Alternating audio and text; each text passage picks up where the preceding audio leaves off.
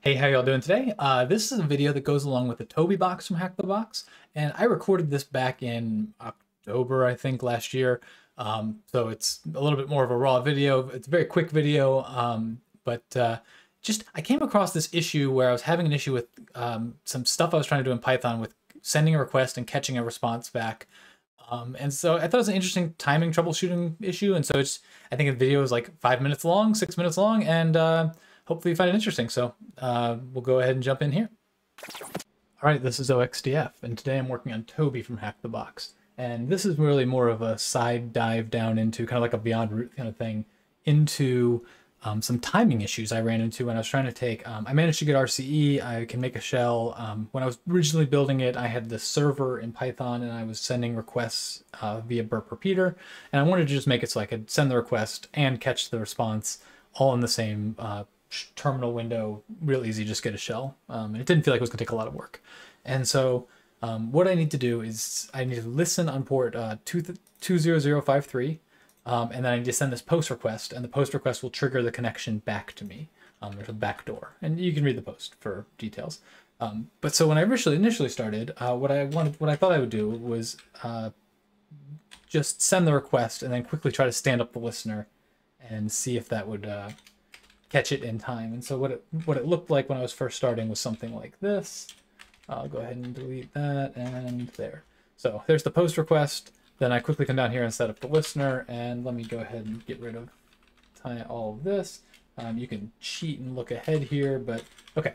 So, and what that looks like is, so I, I send this, I set up the listener, I listen, and then I accept the request here and etc. So um, let's move down. Oops, I didn't mean to make that so small. So there we go. So I will set up a netcat listener and I will call Python, I believe, I believe it's still called c2.py, and then I need to give it my, so I'm nice and pretty, so I can gotta give it an L host and an L port, 6 and 443. And when I run this, uh, I got a little Wireshark over here. You can see my connections to port 80 here going on. And then I do get a connection back to 2053, but uh, my box is sending a reset, and that's because my box isn't listening yet.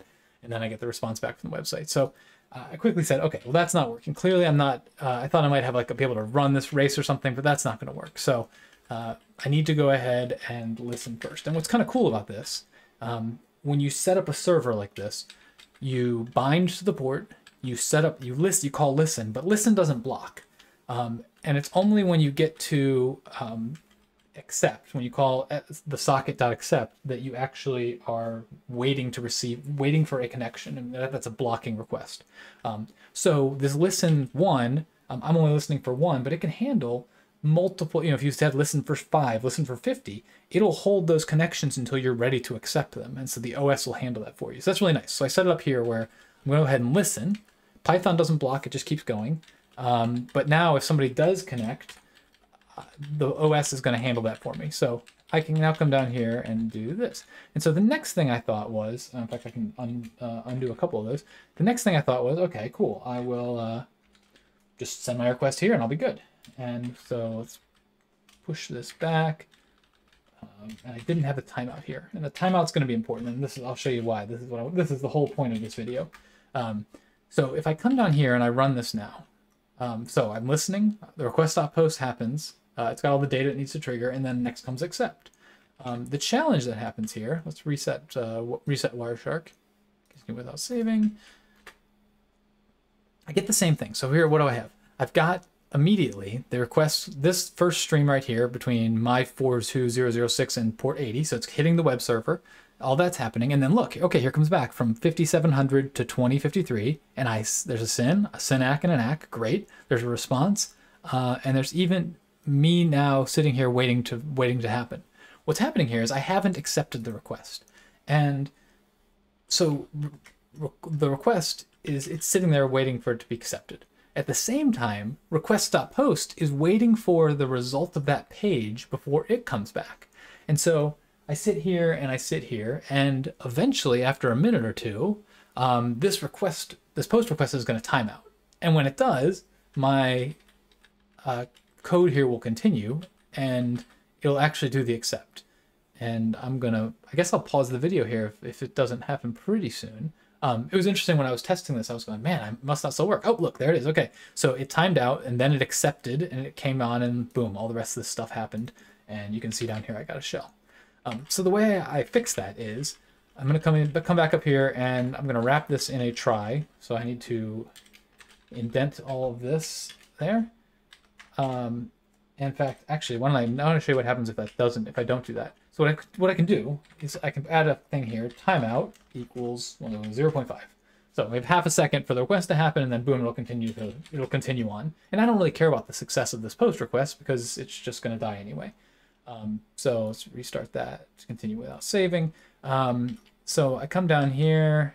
Uh, we can exit my shell, spawn a new one. Let's uh, clear out Wireshark here and run it again. And boom. So this time I still get I still get the Synack, you know, the connection between the connection coming in on 20, 200, what is this, 20,053.